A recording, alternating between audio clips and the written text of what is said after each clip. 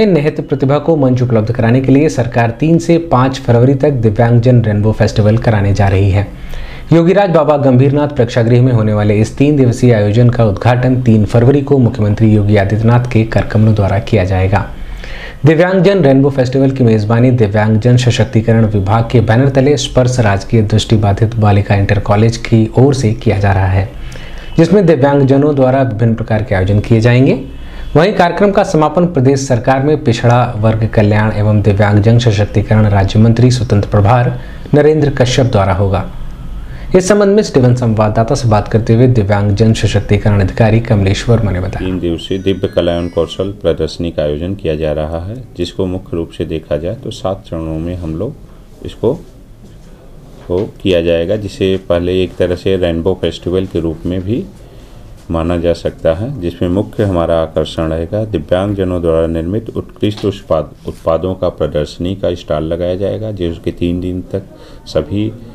जनमानस को निःशुल्क प्रवेश रहेगा, वहाँ से वो क्रय भी कर सकता है, उसका प्रदर्शनी के उत्पादों को देख भी सकता है, और इसी के साथ नए उपकरण, नए आयाम, कैसे,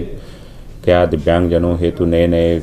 तकनीकी लाई गई है, उसका एक हमारा कुछ स्टॉल, एक सेक्शन रहेगा। साथ में हमारे दिव्यांगजनों द्वारा निर्मित फ़ूड कोर्ट का भी आयोजन किया जाएगा, जिसमें सभी दिव्यांगजन द्वारा ही प्रोडक्ट बनाए जा रहे हैं, जो अच्छे से कोई भी उसकी क्वालिटी और ये सब चीज़ को इसी के साथ हमारे किट फन जोन के लिए भी व्यवस्था की जाएगी कि कोई भी व्यक्ति यदि बाहर से इन हमारे स्टॉल पे भ्रमण के लिए आ रहा है, उसको, अपने बच्चों को किट फंड वो भी निःशुल्क रहेगा।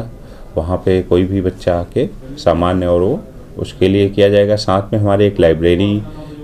बुक फेयर के रूप में एक सेक्शन हमारा उसमें निर्धारित रहेगा। चित्रकारी पेंटिंग की व्यवस्था हो जाएगी और भीतर जो हमारी मेन रूप से चलेगी, तीन दिनों में वो कल्चरल प्रोग्राम चलेंगे, जिसमें एकल सिंगिंग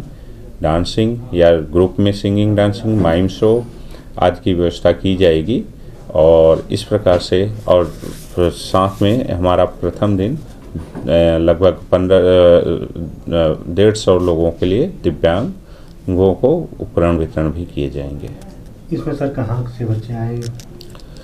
इसमें अगर देखा जाए तो मुख्य रूप से हमारे पूरे प्रदेश राज्य स्तरीय प्रदर्शनी लगाई जा रही है क्योंकि इस प्रकार की प्रदर्शनी अपने आप में ए, में का माना जाए तो ऐसे इस बेल्ट में पहली बार लगाई जा रही है जिसमें हमारे सिर्फ़ गोरखपुर के ही नहीं राज्य के अन्य, जैसे चित्रकूट